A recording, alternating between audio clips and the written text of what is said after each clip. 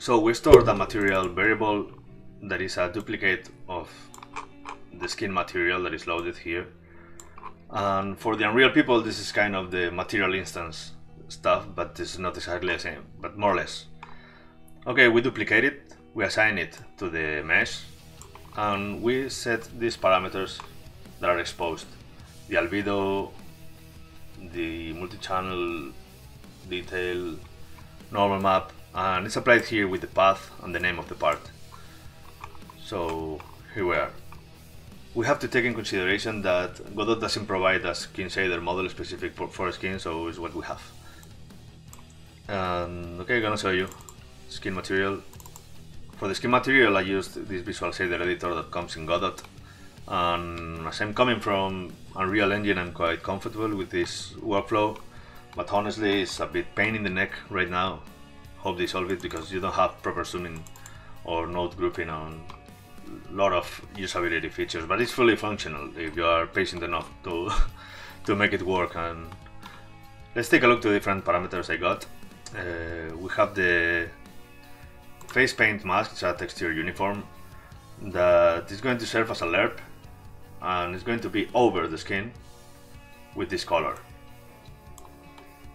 Next one is the dark skin mask. Uh, Alright, this stands for when you have the, the skin darker, it's not equally darker. Your lips are not darker.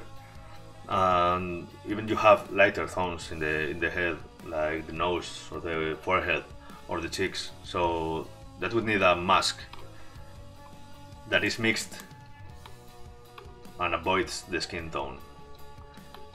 Uh, then we have some uh, multiply masks for the for the sub hair that is going to be under the, the hair mesh or a stubble beard or whatever. Then we, for example, this uh, this is interesting uh, what I made for the eyebrows as, a, as, an example, just in case you want to use it for having more detail, but not wasting a lot of texture memory.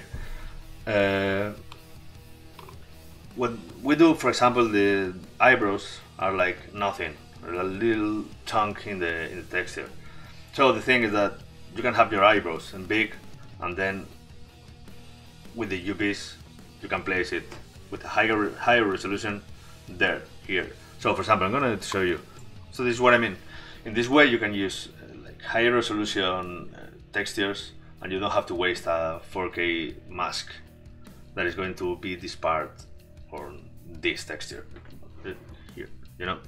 And what you need is to fit it in the in the UVs. So I added this shader expression.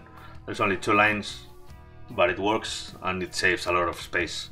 So it only multiplies moves and, and well also places with this other parameter that is eyebrow height. Well I, I'm inverting these these maps because they are multiplying the they're multiplying the, the skin texture but what I need is like to be less I want to add it to the roughness so it's less reflected like the like the beard or the or the eyebrows, so it adds variety and realism in a way.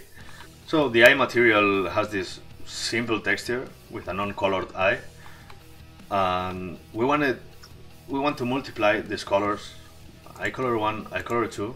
We wanted to multiply, but not affecting the the iris. So we have this mask, and we have a simple normal map, like quite easy. Cornea is a spatial material that is transparent and with refraction enabled. Nothing, nothing fancy. So it's a quite simple material.